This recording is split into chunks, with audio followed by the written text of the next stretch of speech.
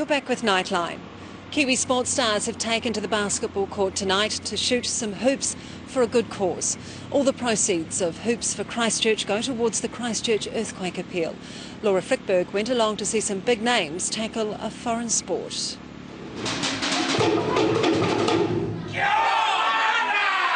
Hundreds of fans flocked into Porirua's Te Rauparaha Arena tonight to get a glimpse of their favourite sports stars playing ball. Oh, Cory Jane. Yeah, probably actually some of the Phoenix guys, eh?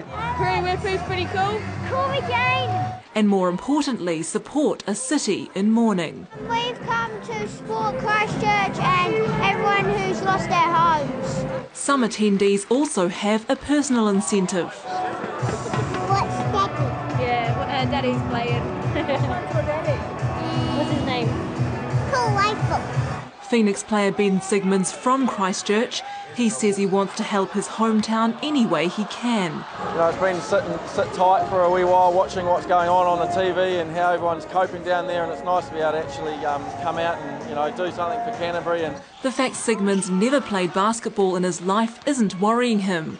It's taking on a certain rugby player that's got him a bit nervous. probably no, Nonu will probably uh, might dish out a bit, I think, but uh, apart from that, uh, we should be right. But Nonu has his own fears. There's a young fella there that's about seven foot, and I'm pretty scared of playing him. So On court, those fears were proved right.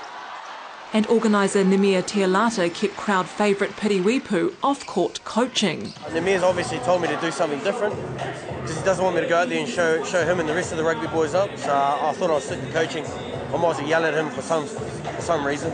Sideline encouragement, which obviously helped, with Piri's team winning the game 109 to 107. Laura Frickberg, 3 News.